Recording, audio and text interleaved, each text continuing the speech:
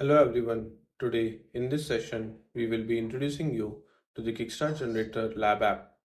This lab app allows you to generate the Kickstart configuration files which are widely used for automating OS installations.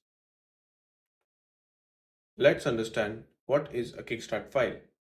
A system administrator can create a single file which is known as a Kickstart file containing the answers to all the questions that would normally be asked during a typical installation. Why this Kickstart Generator Lab app? This application helps you to generate the Kickstart file based on user inputs, which can be useful for automating RHEL OS installations. Once the Kickstart file has been generated, it can either be included with boot media or made available on the network for easy and consistent configurations of new systems.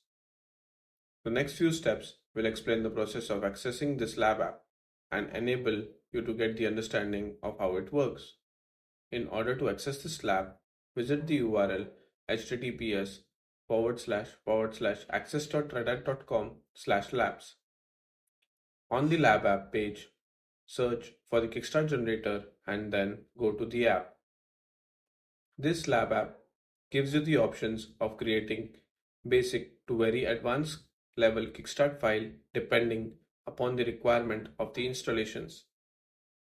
The very basic options include some of the mandatory options such as adding the root password, selecting installation sources, clearing MBR, removing all existing partitions, selecting automatic partitioning, adding grub password if required, the app also gives you options of selecting the advanced parameters such as package architecture, installation environment, network configurations, security options. A new security option now also allows the deployment of systems that are compliant with a security profile such as PCI DSS or OSPP and lastly, we also have an option to add the pre and post installation scripts.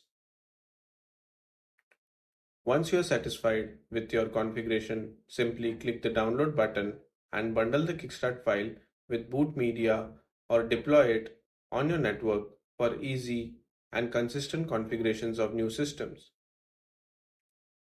Hope this information is helpful. Please do check out our other videos which explain the usage process for other customer portal lab applications such as yum config helper, convert to RHEL, etc. Thank you for watching.